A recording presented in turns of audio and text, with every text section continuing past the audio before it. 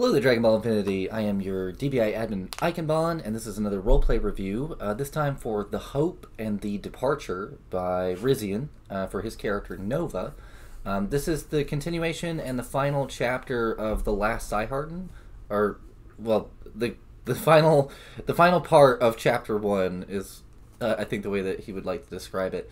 Um, and we're gonna get right into it with The Hope. Um, really liked The Hope. It was uh, it was well written. Uh, it's a very it's very encapsulated scene with Kwai kind of uh, you know like assessing the damage of what's been done both to his fortunes and uh, to like his his sense of purpose and belonging here on Nigyellow.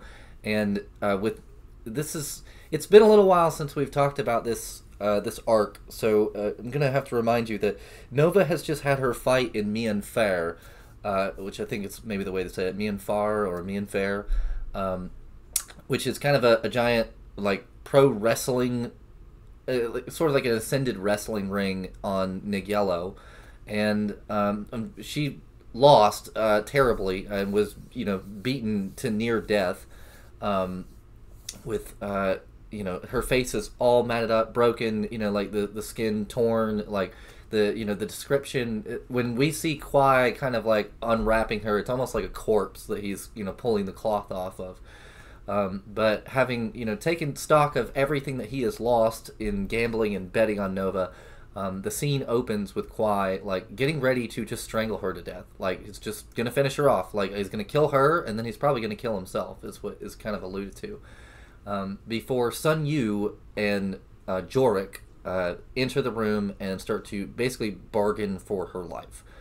Um, now, there's a few there's a few little mysteries that are alluded to here that we'll kind of touch on a little bit in the departure in a moment, where Sun Yu has been called to this planet, called Nigyellow, and has been here for it sounds about like nine months to a year, on the behest of of Jorik or Odin, um, and it, he's he's preparing to leave, but he's going to take this Saiyan woman with him, and so he manages to convince Kwai with quite a bit of Iserian gold um, that uh, you know to, to let him take Nova. He'll he's going to take her to Kaiosei, and then he's going to uh, and, and he'll he'll train Nova for I think a period of about three years is what he they kind of agree on. He'll pay Kwai for that time, and then he'll return Nova to Kwai, and they will uh, it, you know, assuming that's what she wants to do, and then, uh, you know, he's he's almost paying for the privilege to train this student.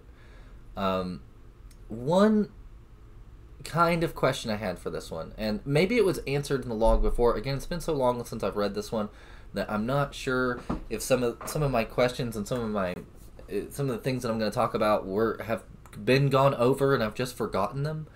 But the kind of question in the back of my head is like, really, like, and no offense to Nova, no offense to her, but I don't think it's ever really explained why Sun Yu decides that Nova's the one. Um, like there's there is a moment when he's like in the room where he say, says that there's kind of this oppressive force of Do that is here, like that we're like Nova's wanting to stay alive, and he can just kind of like sense that power in the room, and so like maybe maybe there's something like inherently that uh, like he recognizes it, it seems you know it seems kind of like both he and Kwai realize that there's something special about Nova, and there is something special about Nova. I just don't know what on earth.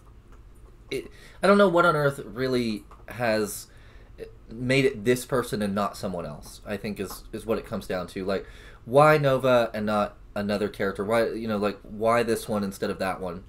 Um, and I, was kind of expecting with this log to maybe get a little bit more insight about that, like a conversation like before Jorik and Sun Yu step in the room, where they like where they discuss it, or in the departure. I was kind of hoping that they you know they discuss why exactly Nova. I'm not saying he made the wrong choice. Obviously, he made the right one, or or maybe he did, depending on how you look at Nova's story arc. But the uh, the why there, like I was just expecting a little bit more like to go into a little bit more detail about why, because um, uh, you know, in on a planet like Nigyellow, there's all kinds of fighters. The, you know, like Mian Far had plenty of them. Like so, like just wanted I just wanted him to talk about his reasoning. uh, a little bit or explain his reasoning just a, just a tiny bit. And again, maybe he did in the last log. It's just been so long I forgot. But uh, Kwai does eventually agree to this, and I'm a little sad to see Kwai leave the story um, because you know he's he's been kind of in the background and he is an interesting character, and I do like him a lot. I like him a lot better than I like Jorik. Um, and I, you know, I know that he'll come back. I know that he, like, even when Nova's journey started, I think that she was still with Kwai. So I think that this will all circle back eventually. But I am sad to kind of see him going from the main plot. Although I don't know what else he would have to add at this point either. Um, and uh, yeah, that's the hope. It's a, it's it's a good log. I and it's short, but it's you know it's kind of like a, a really really quiet, sort of somber moment. Uh, uh, with you know with kind of allusions to the some of the mysteries that were going to go going on, um, and I think overall it, it's pretty good. Um, but then we get to the departure, and I want to say up front, uh, I like the beginning of the departure, but by the end of it, I have no idea what is happening. Um, and I, there's a part of me that even wants to say that I feel like maybe this one should be redone a little bit. Um, it's not my favorite log. I, I really don't understand some parts of it. But the departure takes place right after the Hope. Uh, they have uh, Jorik and Sun Yu have gathered Nova's body. They're in this like van. They're driving down to the spaceport with the intention of leaving to Kaiose. And there's an argument that breaks out between Sun Yu and Jorik, where uh, you know Jorik is like, you know, I, I brought you here for a mission to do something, and uh, Sun Yu explains that he's just been out there in the frozen, icy waste for like nine months, has no idea what he's protecting or what he's doing, and that his blessing is ending. That his, you know, his 500 years of, you know, eternal life is starting to wear out. Like there's only so much more time left for him, and he like, he says specifically like, I, you know, I should have been looking for students. I should have been training the next Psi-Harden and I put that off. I've watched, you know, like generations of my family grow up and grow old and die, and I've like gone into kind of complete solitude at this point. This is what I should have been doing all the time, and I don't have much more time left. Like I'm taking this girl and someone else to Kaiose, and I'm going to train them to be Psi-Hardens. and this is where we get into what I would call the the backstory uh, the backstory mystery overload. Because uh, once they get to the spaceport, a lot of shit starts happening really fast, and unlike most of the other parts of the last Psi-Harden, um, in like in this it, it, happens too fast and it's written in a way that like I like I thought posts were missing. Like I, I wasn't. It felt like there was paragraphs missing to explain some of this. But once they get to the the spaceport, there is another character, a uh, person wearing a white mask and like a cloak, um, very like Obito or uh, I forget the character from Naruto, like that guy with the orange mask or whatever that shows up. Um, and I think they're an android. I don't know. Something really weird happens when Jorik and this character come into like contact. Um, I believe that their name is Edu, uh, which Jorik says that in Icerian means formless memory. Um, but something really weird happens when those two touch. I don't know what's going on with Jorik at this point. Like he's sweating and like coughing and like uh, just, I mean, just acting very strangely. Then there's this like this fusion thing that goes on, and they both kind of pass out, and then. Uh, and then Odin's paladins are coming to like attack them, I think at some point Jorik even gets shot, and like he's saying like you know why did you release this person? And like I don't know. There there's just too much going on there. There's too many questions all at once and it's not written with the same like the same carefulness and the same uh, like the same detail as the rest of the last Psi-Harden like it it's like bam bam bam bam bam bam and there's like honestly again I, I thought that there was post missing um, if if I'm being if I'm being really honest about it, I didn't like it. Um, I, I think that you, it felt rushed, and it kind of felt like you were trying to introduce like a lot of these new concepts all at once for the you know like for the lead like in the next chapter you'll find you know you'll all these questions will be answered and more on Dragon Ball Infinity kind of thing, but it's just it felt like too much all at once. Um, for for the story to conclude in a way that felt satisfying. Um, and and again, I just feel like it it came with like a a rushed necessity that the rest of this story has not had. Like like almost like you.